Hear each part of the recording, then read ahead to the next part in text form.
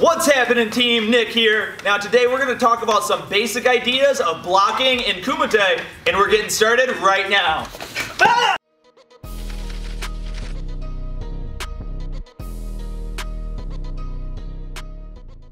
Alright, so today I'm here with my good friend Jamie. I love having somebody like him to help me out with these, not just so that I can show you the techniques better, but somebody of his size you definitely don't want to get hit by. So in the next few minutes, we're going to be talking about a few different mistakes that people make while they're blocking, and then a couple things we can keep in mind during our training so that you won't make these mistakes. Alright, let's go ahead and jump into it. Alright, so the first thing that we see that people make a mistake with quite often is actually trying to stop the motion while we're blocking. So if we're set up in our stance here and Jamie's throwing, let's say a reverse punch at me, and he throws, I don't want to try to absorb this power because that's going to generate the same amount of impact as if he actually hit me in the body, and I want to avoid any of that at all costs. So one of the things we're going to talk about is being able to take his motion and somehow get it to continue past you so that you can either follow up or if nothing else, you're not absorbing that impact. All right, now the second thing we're going to talk about really fast is when we reach too far. So let's say he's he's throwing a, uh, a jab at my head here, and I block way out here. Now, if you're looking at this, you can obviously see why this is a bad idea. My entire body is wide open for his reverse punch. Ugh, just like that. And like I said, doesn't feel good when you get smacked. So if I reach up too high, I have to cover all this distance and there's a good chance he's gonna catch me before I actually get my hand into position. All right, now the third and final thing we're gonna talk about is blocking too much. All right, so this happens in a couple different ways. If he's throwing some like just fast punches at me and I'm just covering up, doing what we call turtling up.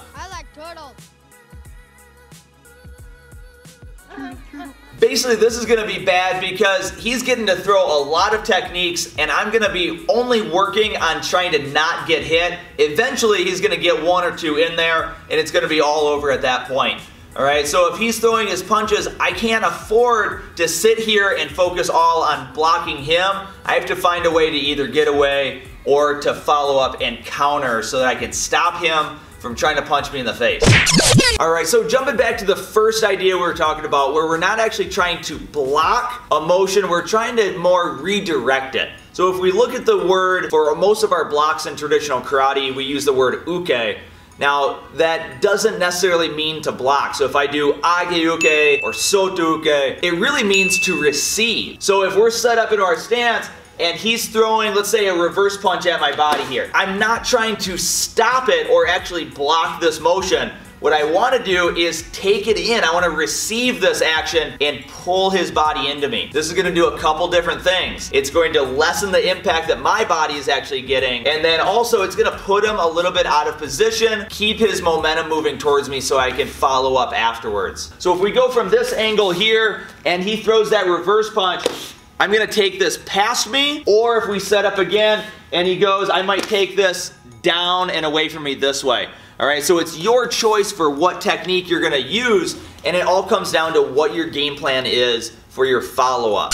All right, so now going back to the second concept we were talking about, where we're not gonna wanna reach too far. As we're training, it's pretty simple the way we wanna think about it. I don't wanna let my elbow disconnect away from my body more than I have to. And the thing that we can keep in mind is that I just wanna stay inside of essentially my bubble. So if we're in our stance and he's punching at me, I don't want to just whatever he throws. I don't wanna reach. I wanna let the motion come to me and just keep it here so it's really close to my body. So again, if we're at this angle and he throws a motion, I wanna keep this right here and not try to push this away where I could then leave myself wide open. So if he backs up a little bit and throws his jab reverse punch, one, two, I wanna keep everything right in close. This allows me the ability to throw my counter attack after this. But making sure we don't go outside of our bubble and we don't reach and leave it there. If we do have to reach a little bit further than we wanted, we have to make sure we get that hand back as soon as possible so we can lessen the chance that they get us with their next technique. All right, now the third and final thing that we were talking about is not turtling up. So we definitely don't want to just sit there and block a whole lot. Now, by this, I'm not telling you to stop blocking. And just go in recklessly. We definitely want to make sure that we are taking the motions out of our way before we just charge in. But what we do want to keep in mind is that I can't afford to throw more than three or four blocks without returning a motion. So as we're training, if I'm here, all that I'm going to work on, if we start off very slow, is if he throws his jab, I'm going to keep this close, not reach out, but I want to redirect this. So the first idea of not stopping the motion, but instead keeping it moving, keeping it close to me, but at the same time, throwing my punch and then coming right back. So almost like how we do a low block or a knife hand block chamber, as he throws, it'll be same time, I go in. All right, so to work on this, start off very, very slow and have them throw a couple set techniques. So let's say we'll start off with a jab. He'll throw three jabs and then he'll throw three reverse punches and we'll just play around with that idea first.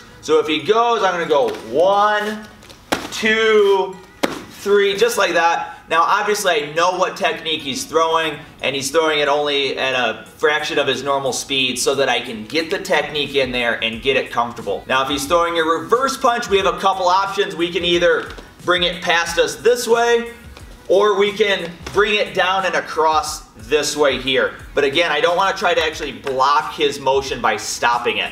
All right, so pros and cons, just really fast little bonus idea here for you, is if I go this way, here, he might be able to catch me with his jabbing hand right there following up afterwards. All right, so if I do it this way, I need to make sure that I get this hand back and be able to block his punch before he goes. Now, if he throws his punch and I bring this across, if he tries to punch me with that hand, it's going to be a lot harder for him because he's going to be off balance and having to go across his body. So with this one, we could go one and then immediately follow up over the top. So this gives us a little bit more of an option, but it is a little bit different of a technique, almost like a low block, but we're gonna try to take their hand past us when we do this. All right, so really fast, I'm gonna toss a little bonus training drill for you. So I'm gonna have Jamie set up into a stance. He actually doesn't even know that we're doing this right now, so he's gonna get into a stance, have his hands up. Now, all that we're gonna do is if he's looking straight forward, he's gonna basically trace his hand around his head and shoulders in more of like a triangle or a diamond pattern. All right, and we can go into any of these spaces without going above our head or below where my arm is naturally. So I'm gonna bring it side to side, up and down, and then we can go at diagonals from here. Then the last one we're gonna add in is this sweep where my palm winds up facing behind me and then right up to here. All right, so now if he's facing me in his normal stance and we're throwing all these motions, this is all that he needs to pick off most of my actions without having to worry too much about what's coming next because his hand is already there. So as we're blocking, as we're going, I'm going to throw just a bunch of random techniques. Big motions like this could represent a big roundhouse or a hook kick coming around. But as we do this, he's going to be blocking just nice and relaxed. And then anytime he wants, he can fire in a counter shot just like that. So anytime he's in a position where he can do that, he'll just fire that in there. Now we want to make sure as we're training this, we're not blocking for a minute before we throw a reverse punch. So we maybe block three, four times and then throw that in there. And then as you get comfortable with it, pick up the speed a little bit and just have some fun. Go fast.